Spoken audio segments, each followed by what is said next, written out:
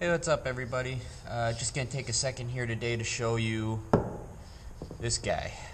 Uh, this is the tool I made for removing pre-combustion chambers from Cat D3400 engines like the one on my D2. So the pre-combustion chambers on these old cats, uh, between the heat and the rust, are known to get pretty seized up in the head here.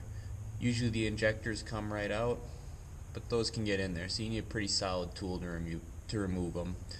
Um, and the same tool works for installing them as well. Now I was working on the 3J, pulling the injectors out, and whoever did the pre-combustion chambers put them in pretty loose because I actually had one of the pre-combustion chambers come out with an injector, which is why I took the time to make the tool now and I was expecting a.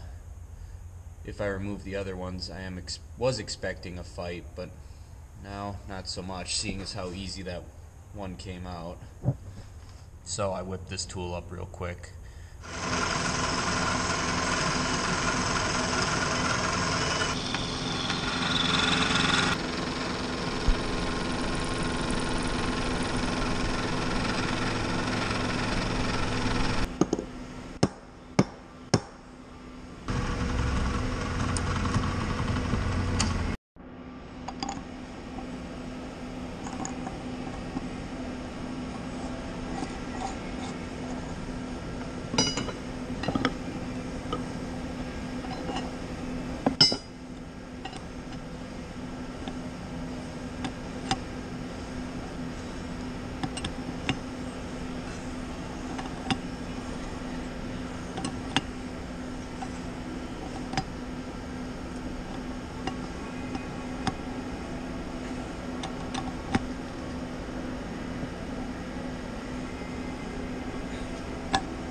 For what I'm doing, it did not have to be built this tough, but I did make it expecting to find a seized pre-combustion chamber since more cats keep following me home.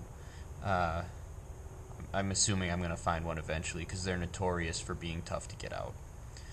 So all it really is is you have a hex on this end to engage the uh, 12 notch spline in the pre-combustion chamber. I'm pretty sure it's 12. And on the other side is just a hex for a wrench, whatever size wrench you had. Uh, this is an inch and 5 sixteenths because that's the wrench that was nearest at hand when I was cutting this. This one's made out of uh, 4140 steel, which is a good kind of just a tougher than plain old mild steel type of steel. Uh, you can make it out of P20, just any good, uh, like I said, anything tougher than a mild steel is good because it is going to take a lot of force, but you don't want to get something uh, that you would harden because that would be too brittle and there's a good chance you could crack this with all the force you're going to put on it.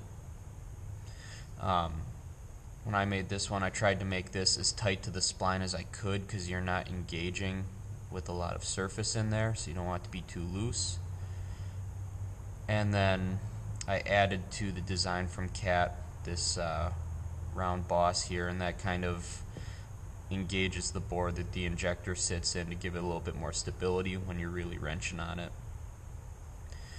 If anybody would like the plans uh, for how to make this, it's real simple. It took me a couple hours in a mill. Just shoot me a message. I'd be more than happy to send the plans your way. I'd have to actually draw some up, but like I said, more than happy to do it anyways, guys, I hope that this uh, maybe helped at least one guy out if he got stuck pre-combustion chambers. Is a pretty good tool for doing the job done. Uh, I've seen other guys try to make of welding bolts together, and it seems like that works for all but the most stuck pre-combustion chambers, but I'm better at milling steel than I am at welding, so that's why I went this route. Well, guys, I got more tractor content coming. Hopefully, we're still in the process of moving. We still don't have an electrical hookup for a stove, so a few other priorities in the way right now, but it is getting to be that time of year where I need my tractor, at least one of them up and running to start turning the field over. Hope you guys enjoyed this. Uh, hit like and subscribe if you did. like I said, I hope uh, I helped at least one person out. Hope you enjoyed this. Stay tuned for more, guys. Thanks for watching.